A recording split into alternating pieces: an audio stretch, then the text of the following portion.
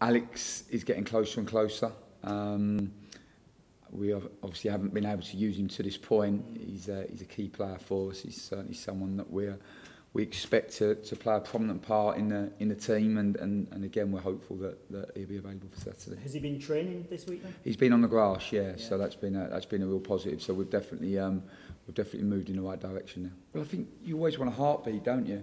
So you would have had Peter, Peter Butler here who went on to play for West Ham and I suppose at that time he was your heartbeat. He certainly was as a young West Ham supporter for, for us when I was growing up and I think you you know in you know you you you'd like to have that dynamic, aggressive midfielder. And, and with Lewis, with Jonathan Hogg and, and with Trevor Chalobah, we've definitely got, got a heartbeat.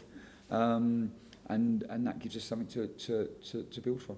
Working on, on, on trying to, to attack from positional positions when teams are set up. Um, we know that's always harder to score goals in that moment. I think we can score goals from our counter press if we can, can really energise it and make it really aggressive. And, and also if we can score from restarts as well, you start to get the number of goals you need to, to enjoy a successful season. Um, I think when we talk about restarts, we have to, and we're, we're considering the Millwall game, they're, they're very, very good in that moment. So defending restarts will be will be very, very important, and it's something that we'll um, we're going to have to work very, very hard to to firstly not to, to try not to give too many away, and then and then to defend the moment very well when we do.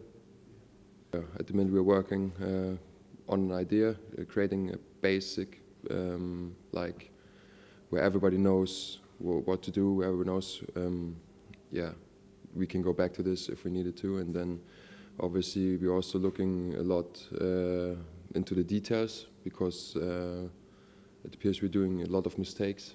Um, the cost goes that, yeah, also, yeah, doesn't uh, let us make play how we want to play really and yeah, that's why we have to work a lot, especially um, yeah in the details as well, and that's what we're doing at the minute.